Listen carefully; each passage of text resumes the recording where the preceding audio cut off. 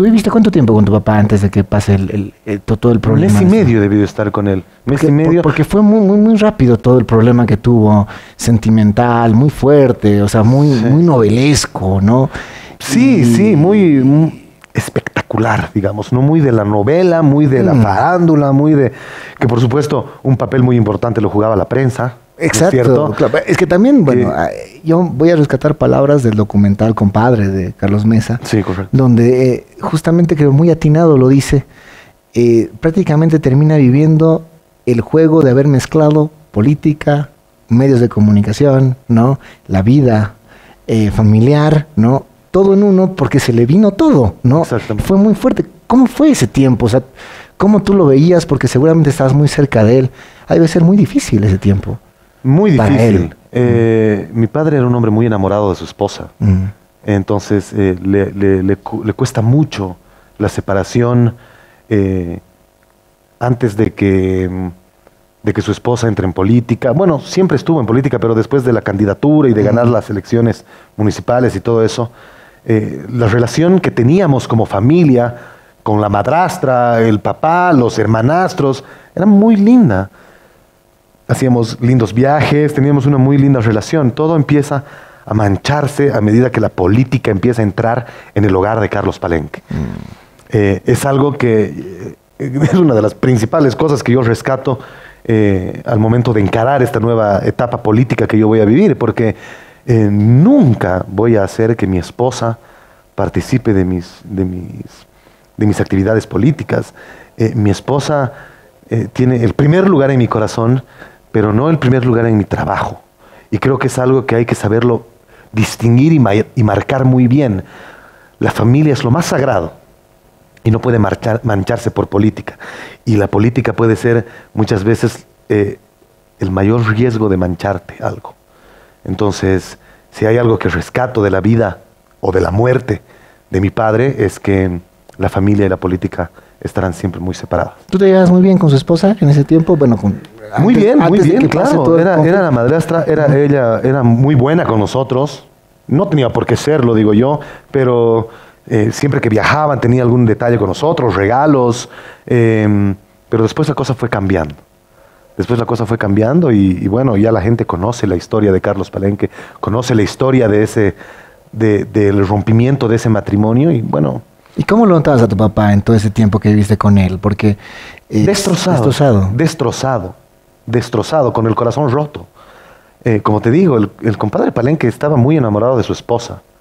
Entonces eh, se le venía todo abajo.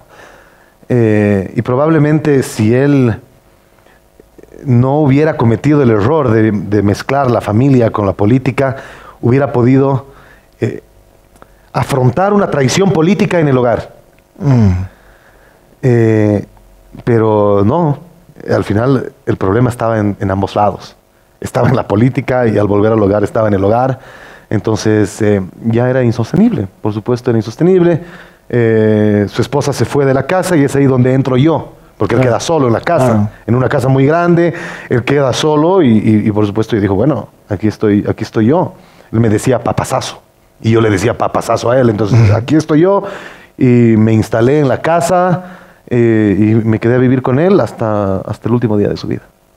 Qué complicado, ¿no? Qué, qué, qué, difícil. Complicado para, para, para, ti, para, años. para un chango de 15 años que no es ni muy menor ni tiene ni es muy mayor como para tener la madurez suficiente de afrontar un tema y, y, en la edad completamente vulnerable. Sí, completamente que, que puedes irte por, por, todo lado, ¿no? Y seguramente todo, todo lo que vino después fue como un sueño. Es casi seguro porque ¿cómo lo viviste? Como la peor de las pesadillas. Sí, ¿no? O sea, una cosa... Eh, el, llanto de mm. cientos y miles de personas, llanto desconsolado. Todos teníamos el mismo llanto. Me parece que, siempre digo que, que, el pueblo y, y nosotros los palenques somos hermanos. El pueblo lo consideraba y lo considera un padre a mi padre. Entonces, el llanto que tenía yo eh, y ver a, esa gente tan desprotegida y además a esa edad ver un escándalo tal, eh, los empujones, fuera de lo que ya toda la gente conoce, ¿no? Pero eh, tener que caminar bajo el ataúd de mi papá, por ejemplo, porque si no la gente me, comía, me, me, metían debajo del ataúd y yo caminaba ahí abajo. porque si no me atropellaban.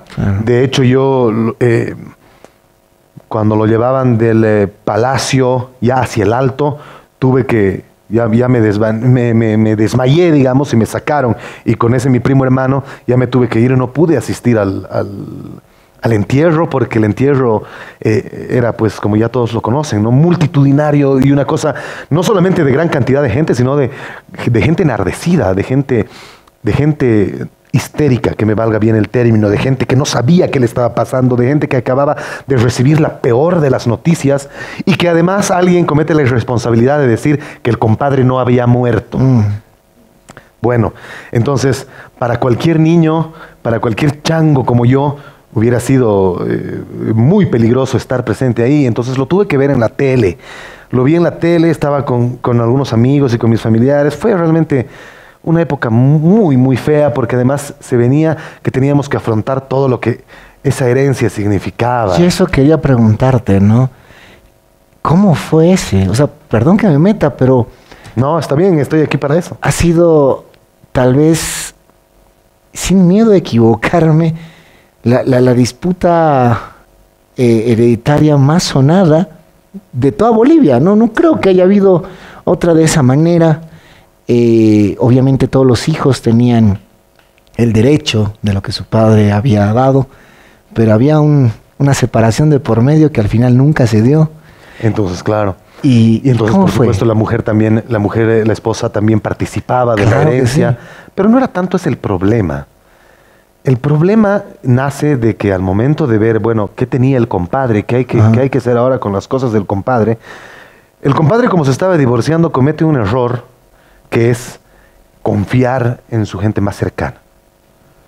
Confiarle dinero, confiarle bienes eh, a, su gente más cercana, a los símbolos históricos y a los símbolos más cercanos, tanto de Condepa como del sistema RTP, como de, mm, Carlos Palenque en sí.